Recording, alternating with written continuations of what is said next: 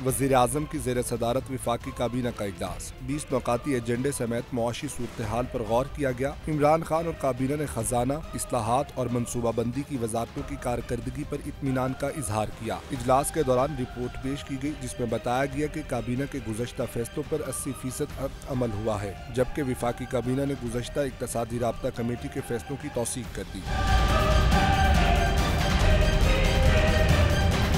जराये के मुताबिक काबीना का गिलगित बल्तिस्तान के असलाहती पैकेज और इसे अबूरी सूबे का दर्जा देने के मामले पर मजीद मुशावरत का फैसला, छह अहम सनतों को गैस की बिला तातुल सप्लाई जारी रखने की भी मंजूरी दी गई। विफाकी काबीना ने पाकिस्तान और कैनेडा की इंसदाद मनशियात फोर्स के दरमियान माहे समेत एंटी करप्शन डे के मौके पर पचास रुपए का यादगारी सिक्का जारी करने की मंजूरी भी दी गई। काबीना ने दस्तावेजात की राजदारी से मुतलिक इकदाम का फैसला भी किया।